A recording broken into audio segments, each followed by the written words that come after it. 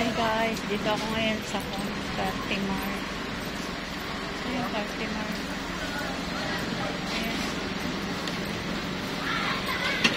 Ay, burger. Ay. Uwi na ako. Bili na ako ng pagkain ng mga kuting. Ito pero ito lang.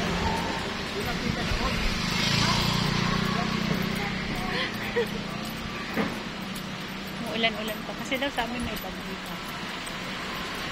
Kaya,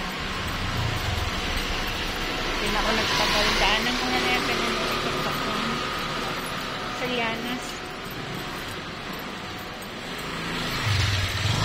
Kasi baka lumakas tong ulan, lagot ako. Malayo rin kaya ito sa tinitiran sa salon, malayo. Nilakad ko lang po eh, pinapalakad lang kasi. Medyo kapagod din sa mga exercise kasi laki na ng bilbil ko. Ang laki na ka ng bilbil ko, promise. Kailangan din maglakad-lakad. Pero masakit sa ano, sa legs. Nakit na ako din sa lianas.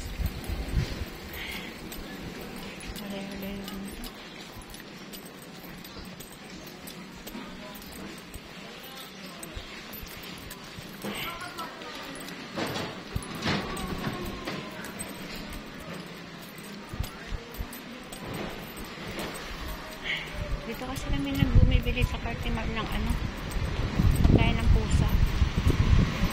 Tapos pag marami yan, ano, dyan sa Lianas ako inutusan ng boss ko ng bumili ng mga. Hindi na rin ako bumibili ng yung para sa akin. Pag mayroon akong sobra.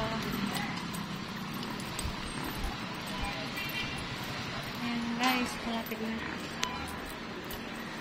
Ay,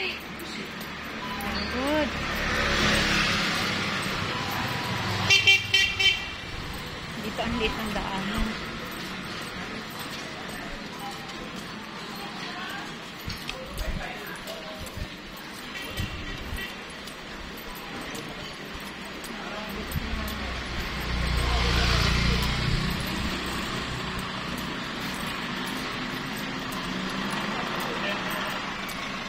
Ang kayang ko maliit pa.